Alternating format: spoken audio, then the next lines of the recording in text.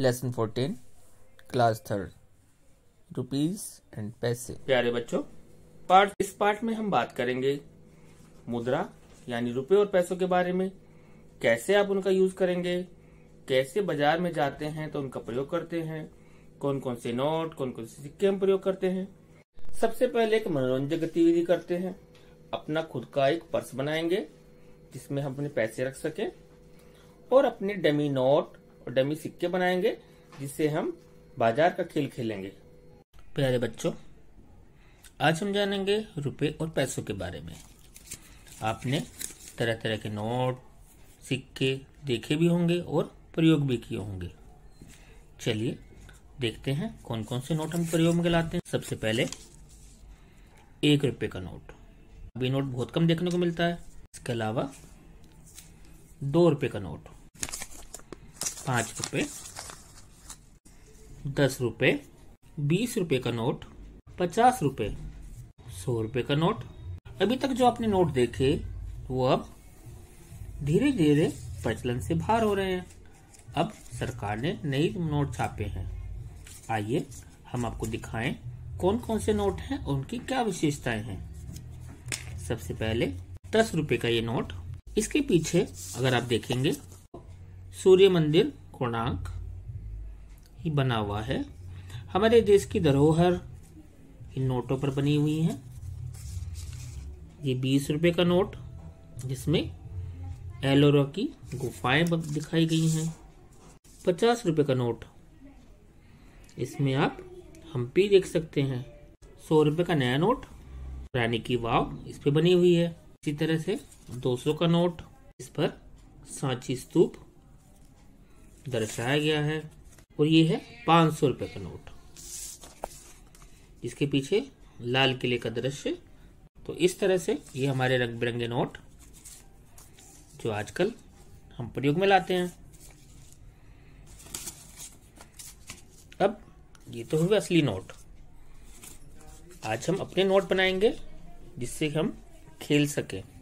नोटों के अलावा हम बहुत सारे सिक्कों का प्रयोग भी करते हैं। दस रुपए का सिक्का, पाँच रुपए का सिक्का, दो रुपए का सिक्का, एक रुपए का सिक्का। इसके अलावा बीस रुपए का सिक्का भी प्रचलन में है, जिसका हम प्रयोग करते हैं। अब ये तो हुए रुपए। बात आती है पैसे पैसों में हम दो सिक्कों का मुख्य रूप से उपयोग करते हैं। पचास पैसे और पच्चीस पैसे। क्या बताएँगे? एक रुपए में पच्चीस पैसे के कितने सिक्के होंगे? क्या आप जानते हैं एक रुपए में कितने पैसे होते हैं? पच्चीस पच्चीस पैसे के कितने सिक्के होंगे? चार सिक्के। चलिए, अब हम एक अपना पर्स बनाए। हमने क्या किया है? एक कागज़ की चकोर शीट ली है। कागज़ की एक चकोर शीट लेकर उसको इस प्रकार दो भागों में बीच से हमने मोड़ देना है। सीधा करें। ऊपर के किनारे मिलाएँ इस तरह से।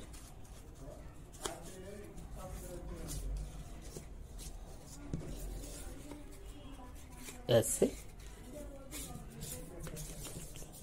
अच्छे से दबा दें इसको। अब इसको मोड़कर इसको पीछे की तरफ़ को इस तरह से मोड़ देना है। पलटकर इसके ए वाले किनारे को और दोनों को, किनारों को आपस में ऐसे मिला दीजिए। सीधा कीजिए इसको। अभी कुछ पर्स आपका ऐसे दिखाई देगा। अब इसके ये वाले किनारे इनको हम पेस्ट करेंगे गोंद की सहायता से। यहाँ। चिपकाने के बाद आपका कुछ पर्स इस तरह का तैयार हो जाएगा, जिसमें आप अपने बनाए हुए सिक्के और नोट रख सकेंगे। ये आपका पर्स तैयार है खेलने के लिए। कोई पुराना ग्रीटिंग कार्ड या शादी विवाह का कार्ड लीजिए और उस पर सिक्के लग, रखकर उसकी गोलाई पर को पेंसिल या पेन की सहायता से चिन्हित कर दीजिए। जितने भी आपको सिक्के बनाने हैं,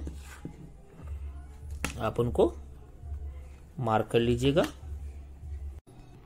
इस तरह से हमने इन्हें पेंसिल से मार्क करना है और कैंची से काट लेंगे। इन सिक्कों को सावधानी पूर्वक कैंची से काटकर इनका मूल्य इनके ऊपर लिख देंगे। जैसे बीस रुपये दस रुपये पाँच रुपये दो रुपये और एक रुपये ये जो आपको चिन्ह दिखाई दे रहा है, ये रुपये का सिंबल है। रुपये का प्रतीक।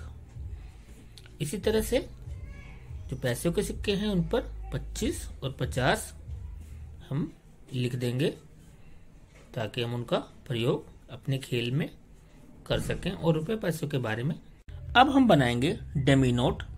सबसे पहले अपनी पाठ्य पुस्तक में, सबसे आखिर में दिए हुए नोटों को कैंची से सावधानी पूर्वक काट लीजिए, जिस प्रकार हमने काट कर रखे हैं। कुछ और नोट बनाने के लिए हमें चाहिए अलग अलग कलर के कागज़ की पट्टियाँ। इन अलग अलग रंग की पट्टियों के टुकड़े काट लीजिए और उन पर जो भी आपको नोट बनाना है, वो लिख लेंगे। चलिए, बनाते हैं कुछ नोट। एक रुपए के नोट, दो रुपए के नोट, पाँच रुपए के नोट, दस रुपए के नोट और ये हमारे बीस रुपए के नोट। इसी प्रकार हम पचास रुपए, सौ रुपए, दो सौ रुपए और पाँच सौ रुपए के नोट बना लेंगे ताकि उन्हें हम अपने बनाए हुए पर्स में रखें और रुपए पैसों का एक खेल खेलेंगे। रुपए पैसों के खेल के लिए इंतज़ार कीजिए। अगली वीडियो का।